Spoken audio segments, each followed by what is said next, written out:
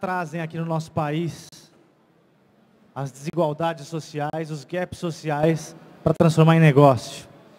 Estou aqui com o Rogério Oliveira, cofundador da Yunus Negócios Sociais Brasil, e estou com o Edgar Barque, professor e coordenador do programa de sustentabilidade e base da pirâmide do Centro de Excelência em Varejo da Fundação Getúlio Vargas, em São Paulo. É, nossa lógica aqui será a seguinte, eu vou dar 10 minutinhos para cada um deles expor alguns pontos conceituais e alguns cases que eles queiram tratar. E na sequência a gente bate um papo todo mundo aqui, aberto para a plateia e, e para quem estiver na internet, mandar suas perguntas e a gente interagir. Tá legal? Eu queria começar com você, Rogério. Traz para a gente um pouquinho então sobre as experiências com o Yunus. Vou para a apresentação já. Bom, boa tarde. Eu vou trouxe uma apresentação aqui, é, que deve durar mesmo uns 10 minutinhos, para falar um pouco sobre negócio social, falar um pouquinho sobre. Não é para mim, não, né? Eu ainda não comecei. É, deixa eu ver se está funcionando aqui. Pode passar. Onde que está o computador? Aqui. Bom, só para falar muito rápido sobre mim, eu não venho do mundo de negócios sociais. É, eu trabalhei a vida inteira aí, 12, 13 anos no mercado corporativo, na área de marketing, estudando o cérebro das pessoas para entender como enganchar as pessoas para convencer elas de que elas precisavam comprar o meu produto para serem mais felizes. Né? Então eu, em algum determinado momento da minha vida, nada contra quem faz isso, mas comecei a me sentir um pouco mal com isso. Né? Uh, meu último trabalho foi. Ops. Não está passando aqui. Foi. Meu último trabalho foi na BR Malls, que é uma empresa de shoppings, que tem 70 shoppings aí no Brasil. Uh, e eu decidi sair depois de cinco anos, depois de me ver participando de discussões lá sobre projetos com arquitetos uh, para construir novos shoppings em que eles uh, soltavam frases como, olha Rogério, pô, a entrada está aqui, a gente não pode fazer um corredor com a saída do outro lado visível. Isso aqui precisa ser um labirinto, que é para as pessoas ficarem mais tempo dentro do shopping. Porque tem um estudo que diz, cada 10 minutos que você passa dentro de um shopping, você gasta 3 reais. No mínimo, você fica cansado de andar naquele negócio e você vai comprar uma água, alguma coisa assim. Tá? Então, pô, eu desiludido um pouco dessa vida, de novo, nada contra quem faz isso, mas eu me senti no lugar errado. Uh, tive contato uh, durante muitos anos lendo livros deste senhor aqui, o Muhammad Yunus, uh, que é um cara que criou o microcrédito né, em Bangladesh, uh, ganhou o Prêmio Nobel da Paz por isso. Uh, desenvolveu depois o conceito de negócio social. É um cara muito inspirador, né, que solta frases como, como essa visão que está no slide, né, de sonhar, da gente planejar um dia que não vai mais haver pobreza, né, em que as crianças, para conhecerem a pobreza, vão ter que estar em museus, para lembrarem como é que era uh, se viver na pobreza. Então, depois dessa desse período aí de, de inspiração e pensar o que, que eu ia fazer da, da, vida, eu pedi demissão e abri a minha própria incubadora uh, de negócios sociais. Então, é o Movimento Buena Onda. É uma incubadora para fazer o que eu sabia fazer, que era montar negócios, apoiar empreendedores para montarem seus negócios, mas empreendedores que tivessem um foco de criar uh, impacto uh, social, ambiental, ou projetos que trouxessem alegria. Né? A gente escreveu isso na missão da, da incubadora. Bom, ah, depois disso, passou-se o tempo, eu conheci o Yunus e a gente se tornou sócio aqui no Brasil, então a gente criou a incubadora Yunus Negócios Sociais, que tem esse foco de atuação. Ah, ups. A gente trabalha uh, com uma parte de consultoria para empresas que queiram criar os seus negócios sociais. A gente realiza projetos dentro de universidades para levar o negócio social como educação uh, para quem está se formando, como uma nova possibilidade de carreira. A gente também trabalha com fundo de investimento, né? então a gente está estruturando um fundo legal aqui para investir em projetos de empreendedores que queiram criar os seus próprios negócios sociais. A gente vai ter uma incubadora para isso. Tá? Bom, se alguém aqui ainda não sabe, só para a gente alinhar conceito, o que, é negócio social? É, tem uma série de definições, tem três coisas principais aqui que, na nossa visão, né, é, do Yunus é, são negócios sociais.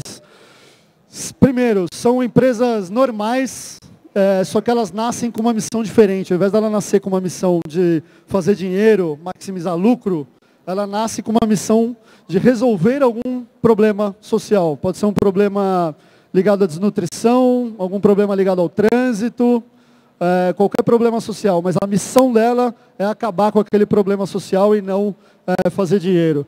O segundo, é, que é muito importante e que difere o negócio social de filantropia, de uma ONG. Né? Eles são negócios que são financeiramente autossustentáveis, ou seja, eles não dependem de doação para existir. Uh, eles têm um produto ou têm um serviço e a receita que eles geram a partir desse produto ou serviço são suficientes para cobrirem as suas despesas. Tá?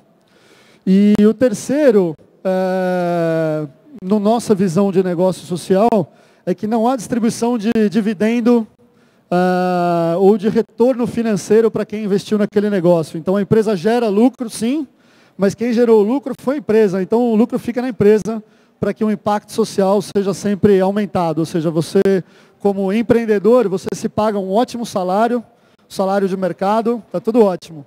E é isso. Né? O lucro fica para a empresa para que aquele negócio possa ser sempre ampliado. Tá? Para deixar mais claro ainda aqui o conceito, eu gosto de passar esse slide que mostra né, que o negócio social ele tem o melhor dos dois mundos. Ele pega o objetivo da filantropia, que é a maximização social, com o melhor do business tradicional, que é se manter financeiramente autossustentável. Né? Então ele tem aqui o, o melhor dos dois mundos. Tá? Trazer dois exemplos aqui de negócios sociais, os mais, um que esse aqui é o mais famoso, uh, foi criado em Bangladesh há seis anos atrás, uma joint venture entre o professor Yunus, o Gramin, e a Danone, né? Ele encontrou o professor da, o presidente da Danone, ele falou: "Escuta, eu ouvi dizer que os seus iogurtes são deliciosos. Vamos criar um negócio social em Bangladesh para acabar com a desnutrição lá." Né, em Bangladesh, 56% das crianças sofrem de desnutrição. E o presidente da Danone falou, ah, legal, bacana, vamos sim. Ele, Mas como é que é isso? Como é que funciona? Não, você desenvolve o iogurte e a gente coloca os nutrientes é, que os cientistas apontarem que são os mais importantes é, para que se a criança tomar esse iogurte, com o passar do tempo ela deixa de ser desnutrida. Ela falou, pô, ótimo, combinado. Aí ele falou, mas eu não acabei ainda. Né? Negócio social é diferente. A gente vai criar essa empresa e você não vai ficar com nenhum lucro do que a gente for fazer lá. Né? Uma empresa separada, o lucro vai ficar na empresa. E o presidente da Danone pensou um pouquinho e falou, pô, ótimo, vamos fazer. Aí o Yunus brinca, né? Ele fala que essa hora ele tinha certeza que o presidente da Danone não tinha entendido o inglês dele, né? E... Mas eles criaram a empresa, a empresa já existe há seis anos, atingiu o break-even no ano passado, uh, com resultados já comprovados. Né? A criança toma, criança que toma esse iogurte duas vezes na semana, em oito meses ela sai da condição de desnutrição. Uh, tiveram que inovar, né? criar uma fábrica pequena para poder instalar nas vilas e eliminar o custo de logística. Então não tem transporte de caminhão, de matéria-prima, nada. É, a venda acontece, as, as mulheres que vendem com uma geladeirinha, são aquelas ali que estão com isopor naquela, naquele quadro de cima, elas pegam direto na fábrica e vendem nas vilas. Né? Então é toda uma inovação de produto, de fábrica, de, de cadeia produtiva para se conseguir vender esse iogurte a um preço que as pessoas que mais precisam conseguem pagar. Né? Esse produto lá custa menos de 10 centavos de dólar, para você ter uma ideia. Né? Então, imagina o tamanho da inovação para você conseguir fabricar isso e conseguir fazer com que a sua empresa sobreviva dessa receita. Né? Essa receita precisa ser suficiente para pagar todos os custos de operação. Tá? É, aqui eu trouxe um outro caso só para mostrar que pô, os negócios sociais não estão só ligados à pobreza necessariamente. Aqui é um, um negócio social criado para sensibilizar sobre a questão da deficiência visual. Né? Eles criaram uma visita, existem 17 lugares no mundo já. É, então é como se fosse um local que você entra completamente escuro, né? Uh, quem te guia é um cego, porque ele não precisa da luz para te guiar por aquele lugar. E você experimenta sensações ali de tato, de cheiro, etc. Ah, e o cego vai te guiando por aquilo. Você sente toda a dificuldade que é uh, descer uma escada, abrir uma porta, enfim, você levar a vida de, de, uma pessoa que tem deficiência visual. E no final da visita você tem a opção de eh, jantar lá, eh, num restaurante completamente escuro. Né? É, que quem, quem são os garçons? São cegos, que né, já sabem circular ali numa boa e te servem os pratos. É, então, uma experiência incrível que te sensibiliza para a questão da deficiência visual, também é um negócio social. Tá? É, aqui só mais um caso muito rápido de energia solar, também esse em Bangladesh. É uma empresa que já tem nove anos, mais de um milhão de painéis instalados, uh, vendido super barato por um financiamento que a pessoa paga durante sete anos. Né? Uh, o preço que ela paga do financiamento é mais barato do que uma conta de luz vai, que ela pagaria uh, para uma concessionária de energia elétrica. Uh, resolveu um problema nas vilas de Bangladesh, mais de 70% das pessoas viviam sem energia elétrica em Bangladesh. Então essa foi a solução que movimenta tudo, né? Movimenta a economia, imagina que os negócios lá depois das seis da tarde, sete da noite, pô, já não funcionavam, é, nas, nas residências, enfim. Então, foi uma, uma, baita solução social. É um dos projetos que, inclusive, a gente está estudando é, de trazer aqui para o Brasil. Tá? É, agora, entrando nos últimos cinco minutinhos aí da, da minha apresentação, é, respondendo um pouco da pergunta do painel aqui, né? A gente foi convidado para responder isso. Por que os negócios sociais são a bola da vez. E a segunda pergunta mais provocadora, né? Se ele é um modismo, se ele é, veio para ficar ou não. Se a gente está aqui só surfando uma onda, é uma bolha que vai morrer. Né? Eu trouxe aqui cinco razões para defender o porquê que não é uma onda. E depois a gente debate aqui. Quero ouvir perguntas de vocês. Uh, a primeira razão, assim, essa aqui é a criança que nasceu em 2012, é, que fez a humanidade chegar ao número de 7 bilhões de pessoas no mundo. Ela nasceu, é a Nenica, é o nome dela. Tá? Uh, dentre esses 7 milhões de pessoas, tem 1 bilhão de 7 bilhões, tem 1 bilhão de pessoas que vivem hoje né, com menos de 1 dólar e 25 por dia né? É, me ajuda a calcular o percentual aí, 1 bilhão sobre 7 bilhões, dá é, mais de 20%, né? É, é, absurdo, né? O número de pessoas que hoje vivem com 1,25 é, dólares no mundo. O problema é o seguinte, né? O governo hoje, como é, no mundo, né, a instituição governamental, ele não é capaz né? a gente já sabe disso, de resolver todos os problemas. Ah, o modelo econômico é, que a gente criou também parece falho. Né? Instituições financeiras, o modelo de business que a gente criou, as regulamentações, ele falhou. Então, a primeira razão é a seguinte, o negócio social ele ajuda a complementar a, a nossa teoria econômica. Tem alguma coisa que não está funcionando. Uh, o sistema econômico atual produziu um bilhão de pessoas que vivem em extrema pobreza. Então, alguma coisa não está funcionando. O negócio social é, surge para complementar esse modelo, essa é a primeira razão. A segunda razão, é, que é uma sensação, né? o mundo está mudando, certo? É, a gente percebe essa mudança. Cada, cada um acha a sua explicação, alguns vão para a astrologia, é, que é o que eu vou é, falar aqui também, ou seja, mudança para a era de aquário, mas o fato é que tem coisas que estão sendo feitas diferentes. Né? Vocês aqui estão vendo no Campus Party, estão participando disso. O mundo, por exemplo, está ficando mais colaborativo. As pessoas fazem coisas hoje sem ganhar dinheiro em troca. Né? Isso é uma mudança. Isso até 5, 10 anos atrás não era bem assim. Então o mundo está mudando. Uh, um outro dado importante, né? uma frase do Gary Hamel, que diz que o dinheiro ele não é capaz de mobilizar toda a nossa energia humana. Ele não mobiliza todo o potencial criativo que a gente tem. Né? A gente tem um, uma outra dimensão humana uh, que não é mobilizada só pelo fazer mais e mais dinheiro, acumular mais e mais dinheiro e querer ficar rico. Óbvio que todos nós queremos isso e dinheiro sim uh, atende a uma parte do que a gente quer, mas ele não uh, nos representa, ele não mobiliza, não mobiliza integralmente quem a gente é como ser humano. Tá?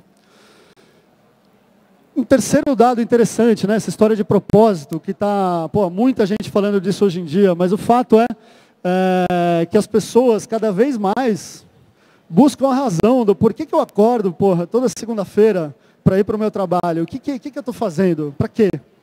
Para vender mais o quê? Para quê? Para quem? Por que, que eu estou fazendo isso? Né? As pessoas buscam cada vez mais um propósito maior, um impacto maior naquilo que elas estão fazendo. Né? Tem essa frase que eu gosto muito, que é de um, um, comediante americano, que ele diz, né, que pô, os dois dias mais importantes da sua vida são o dia que você nasceu e o dia que você descobriu por que, que você nasceu. Né? Então essa busca do, pô, por quê? Eu acordo e vou fazer o quê? Por quê que eu vou para aquela empresa, etc. E tal. Você atender essa, achar uma resposta para isso. Né? Aqui a mudança astrológica, né? a mudança para a era de aquário, ah, a humanidade está mudando. Né? Não vou ler tudo aqui, mas uh, entre ter posse, a gente passa para ter um comportamento de querer compartilhar. Entre levar vantagem, a gente passa para um comportamento de coparticipação responsável. Enfim, uma série de mudanças no nosso comportamento que tem a ver, assim, não como uma, com uma, uma era de mudança, mas é uma mudança de era, é uma coisa profunda pela qual a gente está passando. Tá? Então a segunda razão é isso, o social business ele não é uma invenção de ninguém, ele é uma resposta. Né? A, gente está mudando e a gente quer novos modelos de negócio que atendam essa mudança de era, essa mudança de comportamento mais colaborativa, mais, mais coletiva, com mais propósito. Tá? A terceira razão ah, tem a ver com a tecnologia. Né? Por que, que o negócio social é uma coisa que é, cada vez vai ficar mais forte? Porque o crescimento da tecnologia, vocês sabem melhor do que eu, é uma coisa exponencial. Né? Ah, em sete anos, né, os futuristas dizem, por exemplo, que a energia solar já vai ser a tecnologia mais barata disponível. Óbvio que a gente tem que romper um monte de lobbies com a indústria e concessionárias, etc., para deixar que essa uh, forma de energia uh, chegue barata para a população. Né? Uh, diagnóstico médico à distância, né? a gente já tem testado isso em alguns países, que pelo seu celular você consegue fazer diagnósticos preventivos sobre a sua saúde e você manda isso para um médico à distância e ele analisa a sua, sua pressão, seu batimento, etc., e vê como estão os seus sinais vitais de saúde. Ah, e, pô, isso é excelente, né? Você elimina a necessidade da pessoa ter que se locomover até o médico. Ah, você leva mais saúde à distância para as pessoas. Então, a tecnologia é um outro fator ah, fundamental. Ela vai estar mais barata, mais disponível, então ela vai fortalecer as soluções sociais.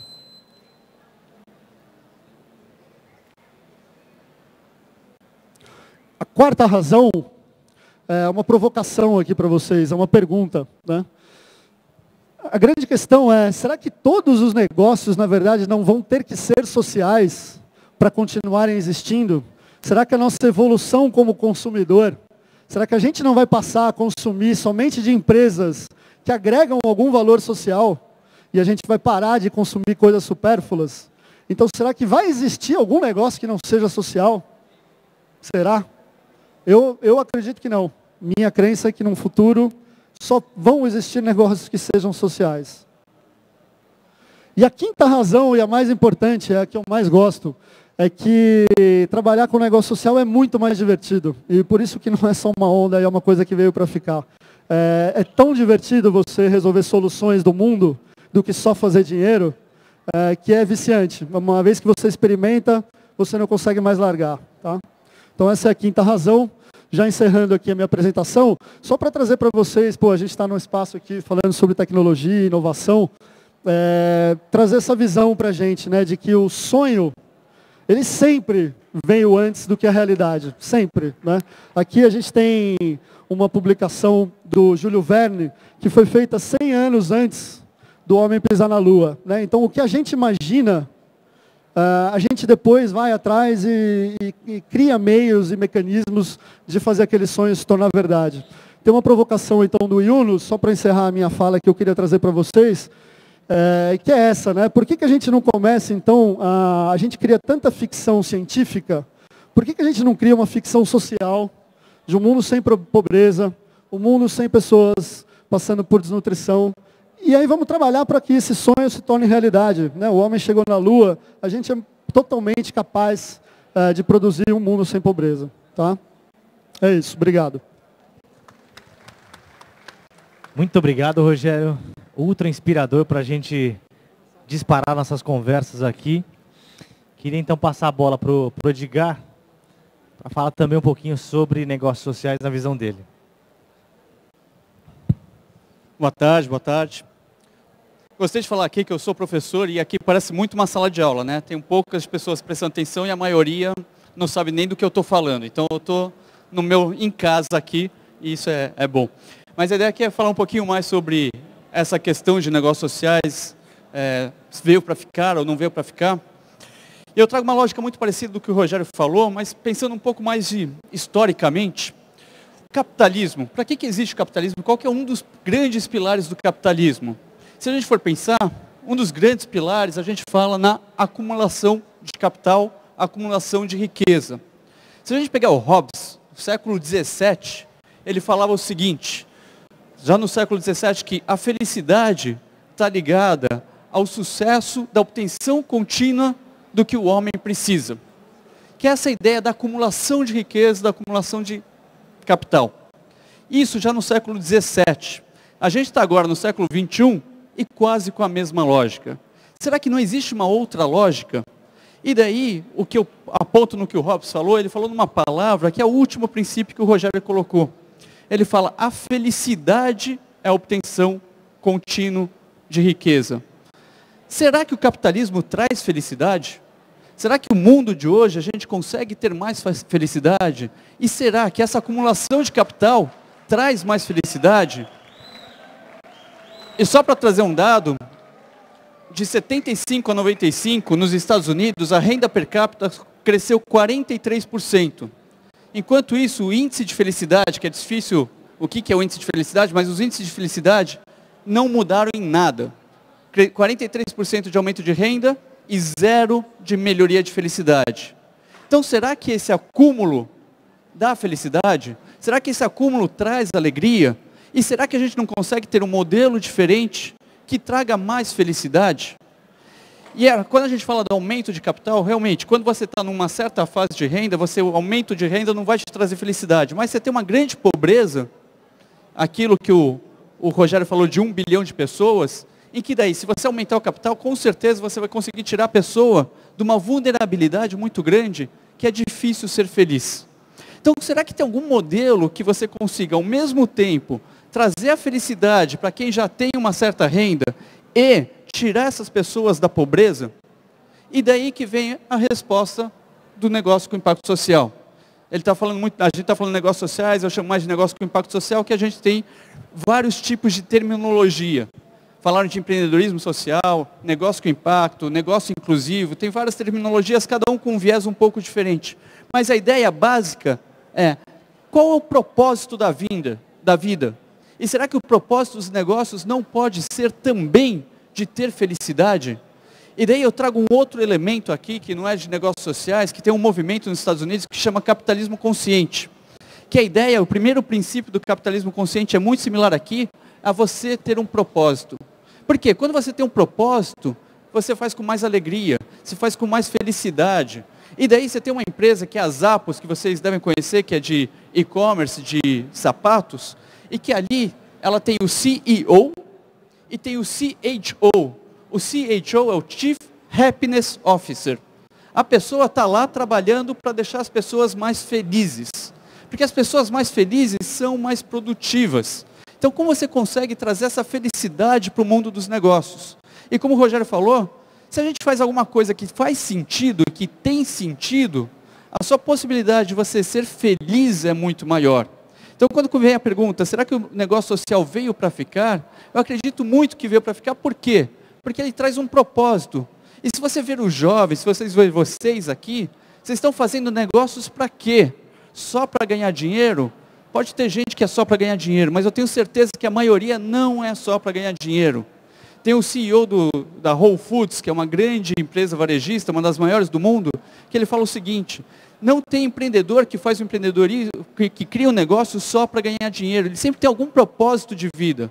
E como você pode ter, ter esse propósito e trazer para o mundo de negócios? E não simplesmente fazer um negócio para ganhar dinheiro. Que se for só para ganhar dinheiro, você aumenta a renda, isso não quer dizer que você vai ser mais feliz.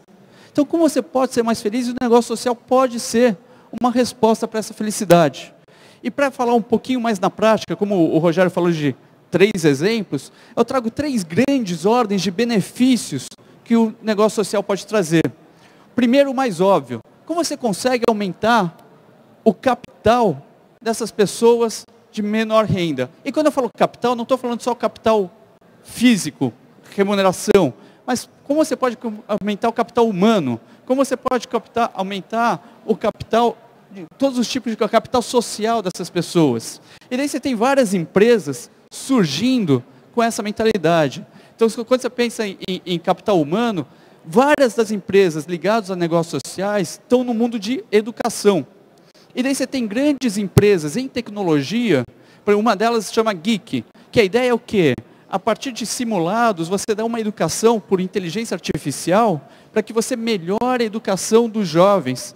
E que a educação é baseada não simplesmente no modelo tradicional de fala e exposição, mas que cada um aprende de uma forma diferente. E como você pode, por inteligência artificial, conseguir fazer um aprendizado diferente para cada uma dessas, dessas pessoas. Então, esse é o modelo que você aumenta esse capital humano da pessoa. Você pode aumentar o capital físico também. O caso do microcrédito do Yunus é um típico de aumento de capital físico. Daí tem uma menina de Sorocaba, de 22 anos, que criou o Banco Pérola. O que é o Banco Pérola? É uma forma de oferecer microcrédito para jovens que não têm acesso a crédito. Que é mais difícil para o jovem ter esse acesso ao crédito para uma pessoa que já tem mais idade. Então, como você consegue desenvolver modelos que se aumente este capital? Físico, este capital humano, este capital social das pessoas. Essa é uma primeira vertente de benefício.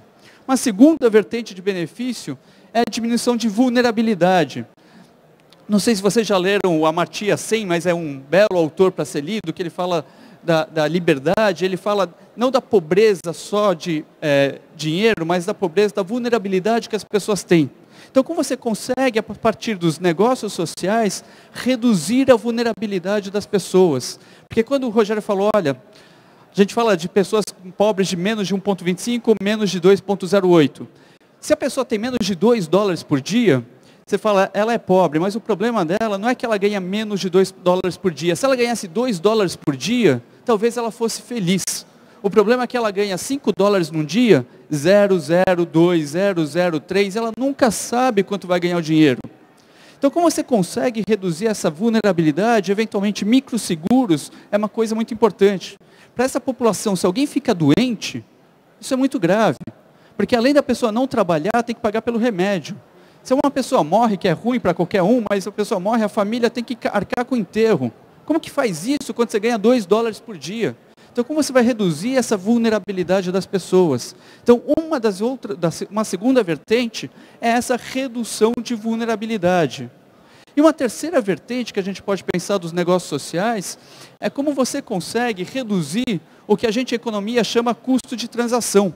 Por que custo de transação? Tem uma, um termo da pobreza que é poverty penalty, a penalidade do pobre.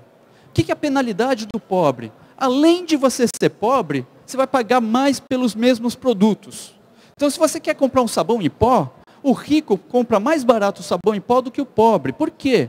Primeiro, ele vai comprar numa loja maior, que é mais eficiente, que vai ter um preço menor. Então, ele vai comprar mais barato. Eventualmente, as embalagens são diferentes. Por que a embalagem é diferente? Porque o rico pode, ele pode armazenar. O pobre, às vezes, por exemplo, vai comprar um shampoo. Na Índia é muito famoso você comprar shampoo em sachê, que é só por um dia, só por uma lavagem. Porque você não consegue comprar um shampoo de 200 ml, mas por um dia você consegue. E comprando por um dia, cabe no seu bolso. Então o que, que você está falando? O rico, aquele shampoo de que só do sachêzinho, por unidade, ele é muito mais caro. Então como você reduz essa penalidade da pobreza?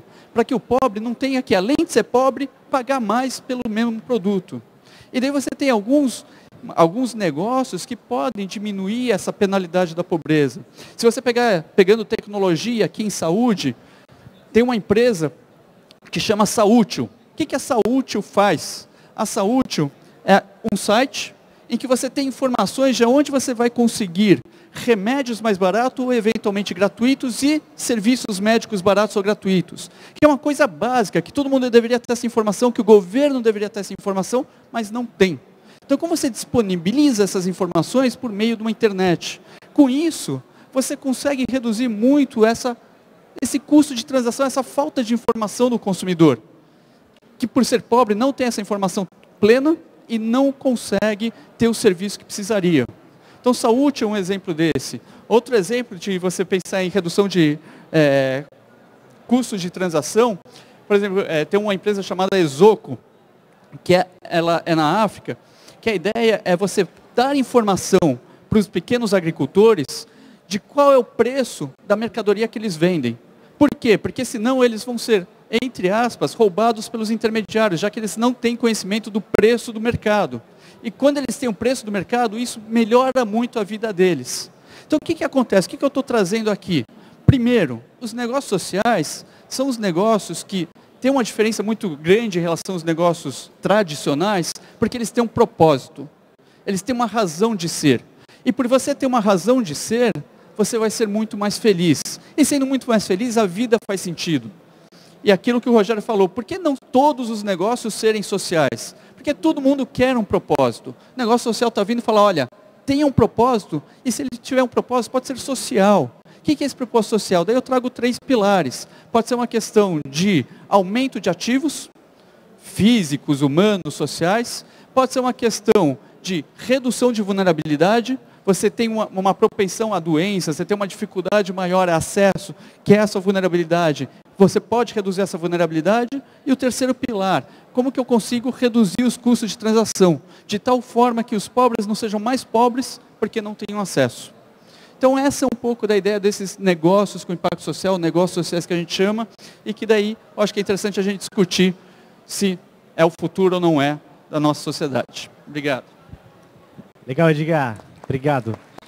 É, já estou com perguntas aqui da web, que eu já vou lançar para vocês dois, para a gente disparar um pouco essa conversa. Depois eu abro já para quem quiser interagir aqui com a gente, fiquem à vontade, a gente passa o microfone aí para vocês.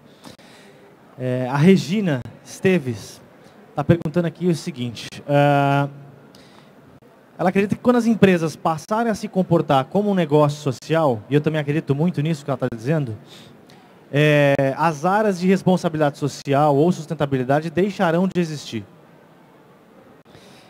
É, porque, na essência, as empresas já serão socialmente responsáveis e mais sustentáveis. Né? Quando é que vocês acham que a gente pode prever esse cenário no Brasil? Na próxima década ainda? Deixa eu. Estão me ouvindo bem? Ou tá baixo esse aqui? Não, tá, tá ligado já. Tá baixo, né? Melhorou. Opa. É, uma previsão, eu não me arrisco a dizer quanto tempo isso vai acontecer. É, o que eu me arrisco a dizer é que vai acontecer. É, eu concordo que a, a, eu vejo as empresas se tornando negócios sociais como uma evolução é, da responsabilidade social. Então isso é um fato, isso deve acontecer. por razões econômicas, tá? Eu não acredito que as empresas vão mudar porque elas ficaram mais boazinhas. O que eu acho é que o ser humano está mudando, então o consumidor muda e muda o hábito de compra. Então, por razões econômicas, as empresas vão se tornar cada vez mais sociais. Então, essa previsão de tempo, para mim, ela depende dessa mudança do consumo. É, é possível pensar em uma década? Eu vou torcer para que sim. É, eu não sei se uma década, eu acho que uma década, na verdade, é, é, pouco. Mas eu gosto de ver o mundo não como uma fotografia, mas como um filme. E se você pensar não em negócios sociais, vamos pensar em sustentabilidade, é, que veio a pergunta, né? Se a gente pensar sustentabilidade na década de 60, 70, era uma coisa inexistente. Se você pensar hoje, minha filha de 7 anos sabe o que quer dizer sustentabilidade. É, isso quer dizer que as empresas são sustentáveis? Eu acho que a grande maioria das empresas faz, pratica o que a gente chama de greenwashing, né? É só uma lavagem verde, pinta de verde e fala que é sustentável. É, eu acho que quando a gente fala de negócios sociais, ainda vai ter muito do green social, né? Sei lá como que vai chamar isso daí. É, é muito possível que tenha. Social wash. É, é, só que o que tem, e daí eu pego de novo o Yunus, já que o Rogério citou bastante ele, o Yunus tem uma frase que eu acho que é muito interessante, que ele fala o seguinte, se você vai trabalhar numa empresa e você tem duas empresas para trabalhar com o mesmo salário, uma com uma preocupação social com propósito e a outra tradicional, qual você vai escolher? E eu acho que daí é que vem uma pressão de as empresas buscarem outros mecanismos de chamar os funcionários que não são não é apenas salário, é o propósito. Eu acredito muito que as empresas vão ter mais esse propósito e eu acho que seria muito bom se uma década a gente conseguisse acabar com as áreas de responsabilidade social e transformar tudo numa questão da empresa. Mas eu acho que a gente não tem que ter a meta de tempo. Acho que a gente tem que ter a meta de qualidade, fazer isso com qualidade e fazer isso com sentido. E eu acho que tem um sentido, que nem o Rogério falou, econômico. Então acho que vai acontecer. Tempo, difícil dizer. Perguntas da plateia? Alguém quer interagir aqui? Opa! Temos dois aqui. Vou pedir só que você se apresente e aí faz a. É, meu nome é Milton. E o Edgar falou do, do Amartya Sen, né? E ele tem uma teoria de que o que falta na verdade é oportunidade. Você, no livro Desenvolvimento como Liberdade, ele fala que você tem que conceder oportunidades, né? Então, por exemplo, os modelos de negócio do Graham Bank, do Yunus, ele faz com que isso aconteça.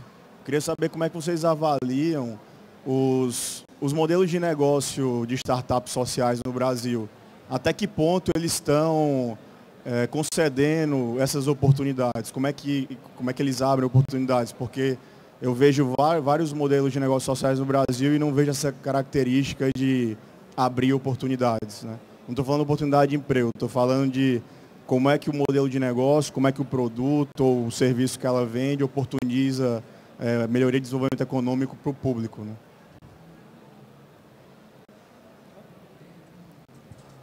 Olha, eu acho que muitos, uh, o, o, foco é essa oportunidade que você está falando, que, uh, como o Matias Sen fala, da, da, vulnerabilidade. Né? Então, como você reduz a vulnerabilidade? Eu acho que vários desses negócios, na verdade, eles reduzem sim vulnerabilidade.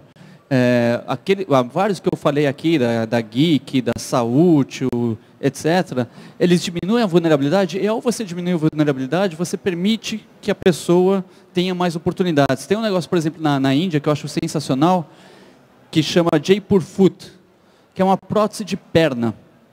E uma prótese de perna nos Estados Unidos custa 8 mil dólares. Essa prótese de perna lá do, de Jaipur Foot custa 45 dólares e, na verdade, é entregue de graça para as pessoas que necessitam. E tem vários relatos ali das pessoas que não conseguiam trabalhar antes porque não tinha perna e com a prótese de perna, que você consegue correr, subir árvore, você pode fazer. Então, eu, na minha percepção, sim, eles criam muitas oportunidades. Não sei exatamente, então, pelo visto você queria falar outra coisa, né? No Brasil? Então, se você pega no Brasil, você está falando os exemplos que eu dei, Saúde, Geek, é, Palmas, Banco Pérola, todos esses estão dando oportunidade. É, cada um numa forma.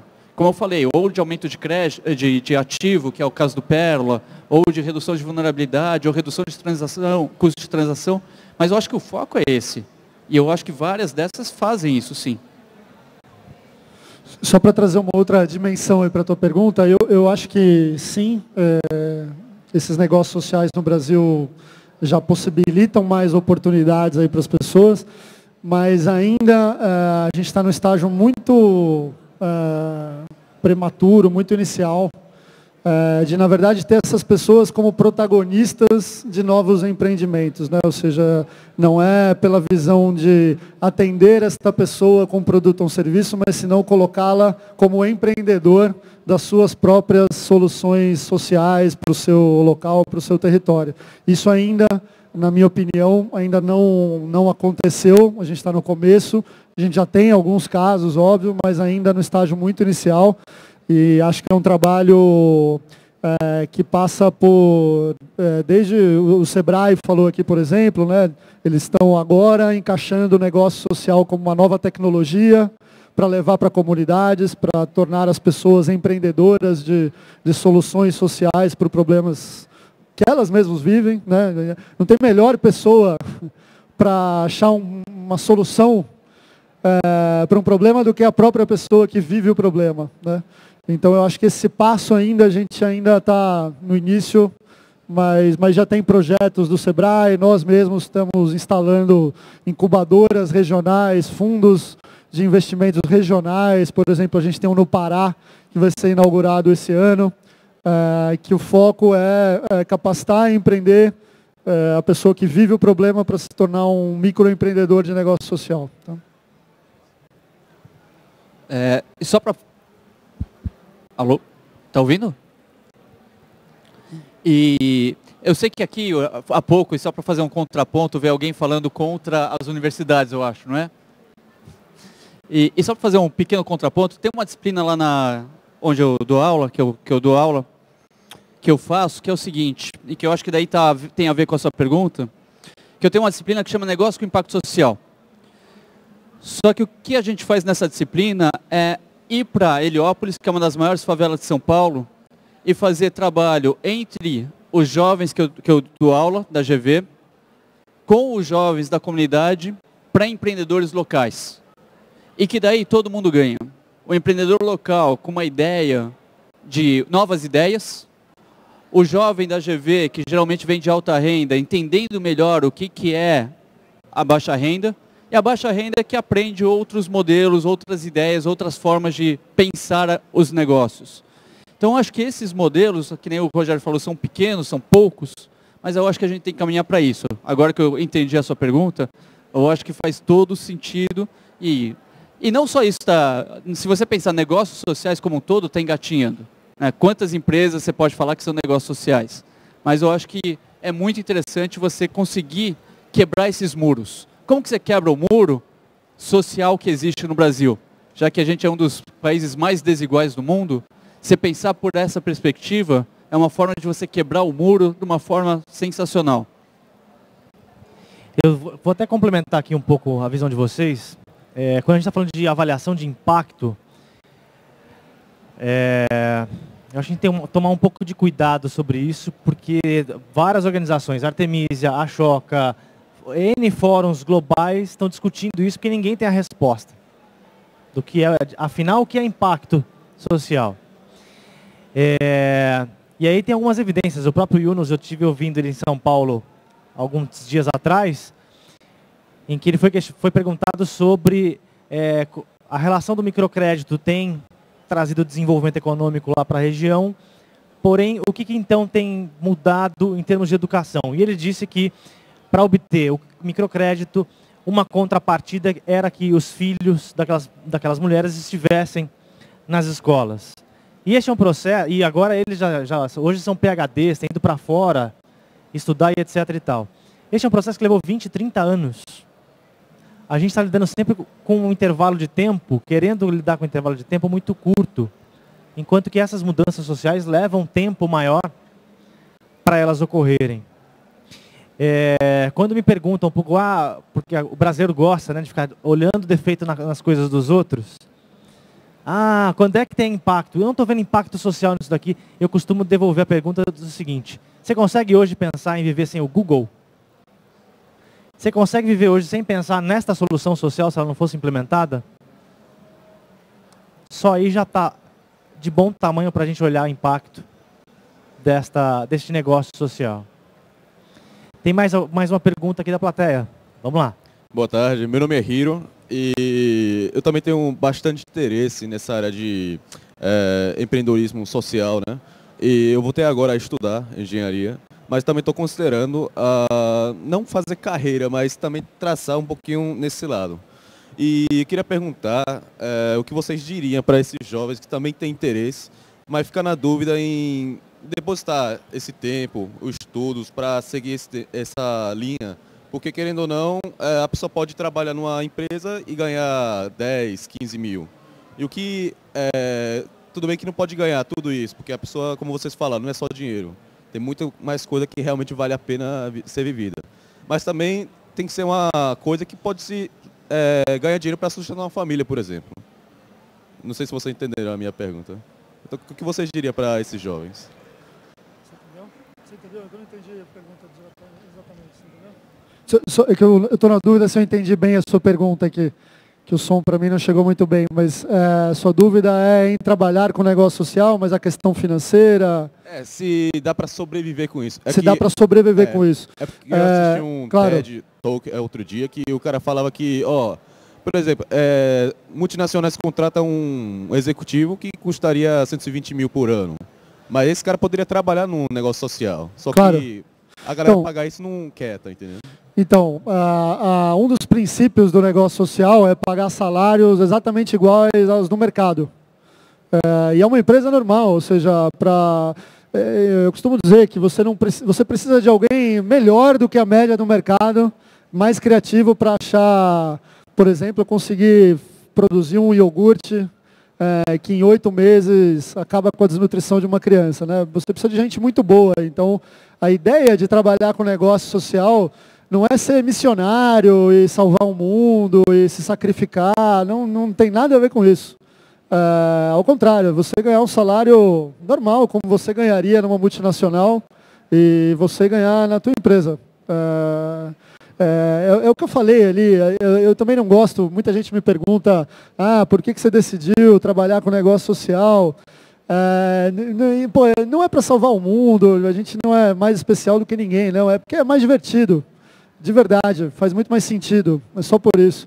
E o salário é igual, então tudo bem, não tem sacrifício, não é, não é missionário, não é diferente da visão de filantropia, de ONG e tal. Tá? Só rapidinho, eu acho que não é uma questão de ou, é uma questão de e, né? ou social ou financeiro. É uma questão de e, é social e financeiro. É não ter problema em ganhar dinheiro e fazer o bem. Muito pelo contrário, fazer o bem é um bom negócio. E só para voltar, não é negócio social, mas só para voltar à ideia do capitalismo consciente, que é essa ideia de ter propósito, essas empresas conscientes, que não são sociais exatamente, mas têm uma filosofia similar, a performance delas financeiras é 10 vezes melhor do que as 500 maior da Bolsa de Valores do, de Nova York. Ou seja, você ter propósito, fazer o bem, é um bom negócio. É só isso. Meu nome é o Anderson, sou do Rio de Janeiro, estudo na, na Federal Fluminense, lá UFF. Eu tive contato com o Choice Day, com o movimento Choice, foi fazer um jogo lá com a gente, esse ano focando em educação. Aí eu, é, eu até tive contato com a revista que você aparece, Pequenas Empresas de Grandes Negócios, está na capa. Aí, essa minha, são duas perguntas, uma para o professor, outra para você. Gostaria que você comentasse com a gente suas dificuldades que você teve nessa transição para negócios sociais. E para você, como professor, como está sendo a aceitação dos alunos, é, explicando sobre negócios sociais, que muitas vezes na universidade, alguns alunos são muito conservadores, outros não, nem tanto, como os próprios acadêmicos. Essa é a minha dúvida. Uma pergunta para cada um, por favor.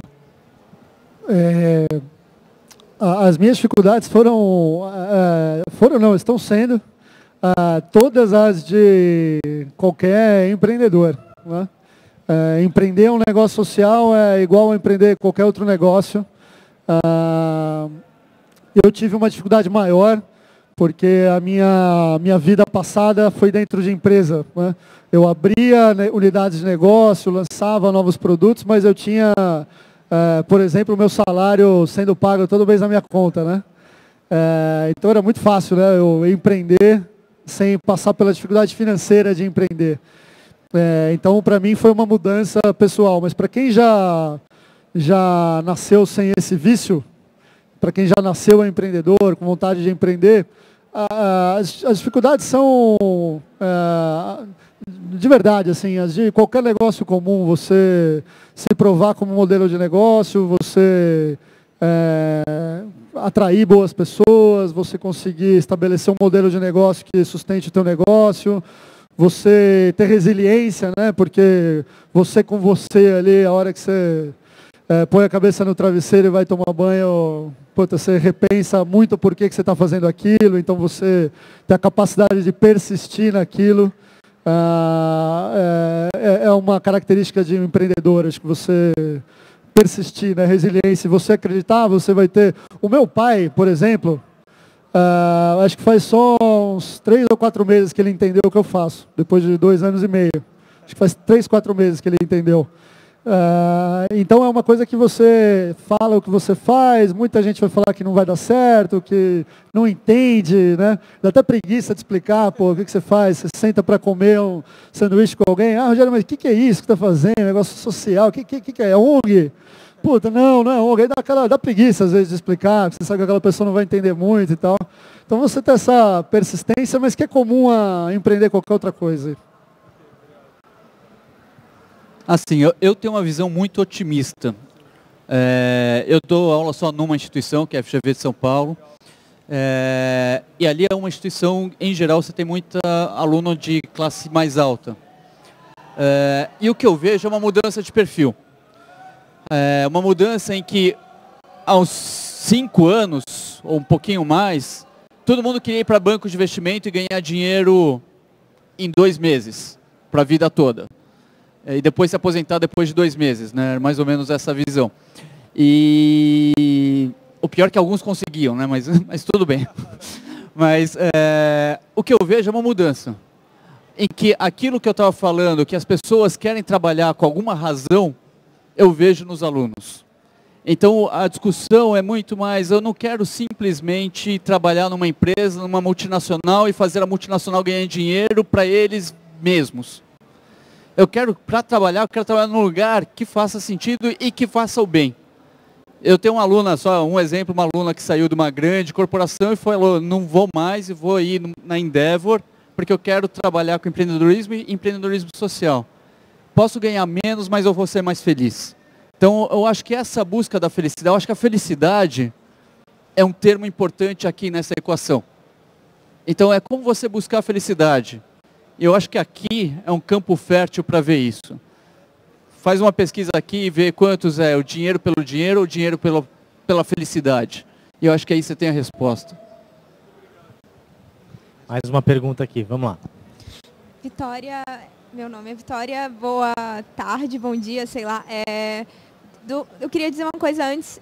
É uma coisa muito libertacionária você perceber que as pessoas, elas, quando você descobre que você não precisa ficar rico, as pessoas não querem ficar ricas, elas querem ser independentes e felizes, que é uma coisa totalmente diferente. Pelo menos isso pode abrir a cabeça de muita gente que está entrando nesse novo mundo, né? Eu queria saber de vocês é, qual a opinião sobre uma economia baseada em recursos ou uma economia com recursos compartilhados. E quais as dicas que você daria, vocês dariam para a gente que está querendo começar agora com empreendedorismo social, porque empreender por si só já é muito difícil. Pronto, valeu.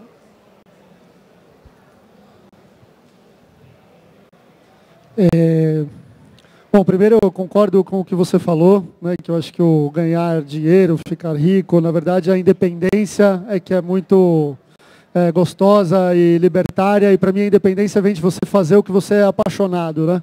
Inclusive a sua conta muda.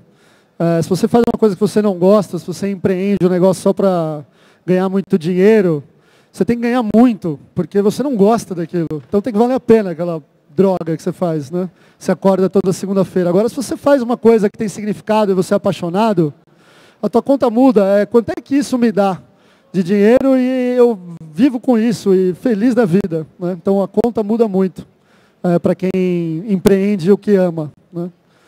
Uh, sobre a, o final da tua pergunta de, de economia compartilhada, é, o, o, negócio social eu vejo como uma grande plataforma para viabilizar o compartilhamento de, de conhecimento, de tecnologia, de tudo. Né? Uh, o presidente da, da Danone, que criou a Grameen Danone, ele usa muito o termo do copyleft, né? que lá eles não têm o copyright. É copyleft que pô, toda a tecnologia que eles desenvolveram está aberta para quem quiser ir lá e copiar. Né? Negócio social não tem concorrência. Uh, se eu estiver desenvolvendo uma solução uh, para a saúde uh, e surgir um concorrente meu, ele não é meu concorrente, porque a missão da minha empresa é acabar com aquele problema de saúde. Então, ótimo que tem mais gente trabalhando para acabar com aquele problema. Inclusive, eu posso me fundir a ele e, e, unir esforços. Né? Então, a tecnologia, o compartilhamento, ele é total. Ele tem que ser total. A globalização, por exemplo, para negócios sociais é uma coisa que tem que ser muito estimulada, porque uma solução que existe em Bangladesh para energia solar está lá, disponível, e o cara lá está louco Está totalmente aberto para algum empreendedor brasileiro ir lá e pegar isso e trazer para o Brasil. E ele não vai cobrar nada, não quer ganhar nada por isso, porque ele só quer ver o problema da falta de energia, acesso à energia resolvido. Né? Então é uma plataforma incrível para para possibilitar uma economia compartilhada. Ah, na verdade, não tenho muito a acrescentar. Eu acho que essa ideia da, da economia compartilhada ela é paralela não é, não é uma coisa, é uma coisa que vai acontecer de qualquer jeito. Né? Já está acontecendo. Então, é, e o negócio social é uma coisa que, pelo menos nós acreditamos. É, então, eu acho que é paralelo. São duas coisas que a gente acredita que vai acontecer e são uma pode ajudar a outra. Mas não é, de novo, não é ou, é o E que faz todo sentido. Então, é essa busca do E. Só para complementar, e aí já está acabando nosso tempo, infelizmente, boas conversas.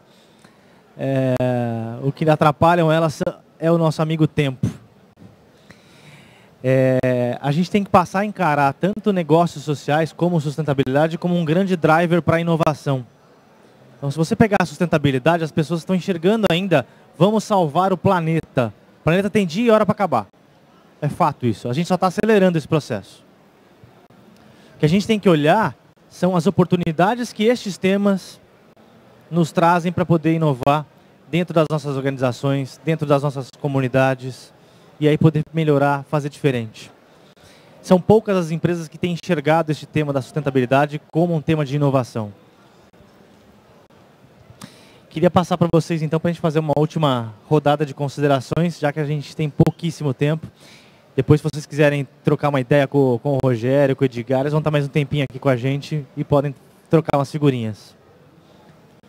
Eu queria pegar um gancho nessa tua última fala. É, o, o, negócio social ele é uma ferramenta é, poderosíssima como é, fonte de inspiração para inovação. Né? Ah, você criar soluções é, para resolver um problema social, é, isso você, você, traz um significado para as pessoas que estão pensando nessa solução. Né? O presidente da Danone, ele conta que o maior problema dele foi limitar o número de pessoas que queriam participar do projeto de criação do iogurte. Os caras estão lá há 10 anos criando iogurte disso, iogurte daquilo, etc. Ninguém estava brigando para participar de nenhum projeto. A hora que ele pingou este projeto na área de inovação lá na França, foi uma briga. Por quê? Porque tem significado você criar um iogurte para acabar com a desnutrição. Isso é poderoso. Isso liberta uma dimensão nossa de criatividade que você simplesmente criar mais um iogurte para pôr lá na prateleira, para gerar mais lucro para acionista, não desperta né, tanta criatividade, tanto poder. Então, realmente, é encarar um negócio social não como ferramenta só para salvar o mundo, etc., mas como uma ferramenta para o seu negócio de, de é, potencial de inovação muito grande, de motivação dos, das pessoas. Né? É, e não ter e, e, uma outra coisa que eu queria falar também, só para encerrar aqui, é, a gente não é contra o lucro, contra ganhar dinheiro, a gente é, estimula os empreendedores e as empresas a fazerem o E. Né? Tudo bem você ter a sua empresa e, e enriquecer os acionistas, etc. Ótimo. Né? Mas que tal também criar um negócio social como um side business, né? um negócio em paralelo para resolver problemas sociais usando a tecnologia que você tem. Né? Então não é, não é, a gente aqui não é xiita, é, ah, estamos declarando o fim dos negócios tradicionais, de jeito nenhum. Né? É, como complementar os negócios tradicionais, como complementar a teoria econômica é, que até hoje se mostrou é, se mostrou, tem, tem alguns bugs aí, né? A gente produziu um bilhão de pessoas que vivem com menos de um dólar. Então, alguma coisa não está certa. Como é que a gente complementa isso? E eu só queria colocar duas coisas rápidas também. Que é essa questão do E, que a gente às vezes acha que não é possível. Mas se a gente pegar de novo historicamente, antigamente a gente podia falar que produzir um produto de qualidade a um baixo custo era impossível esse E não era possível, qualidade e custo. Hoje a gente vê que é possível.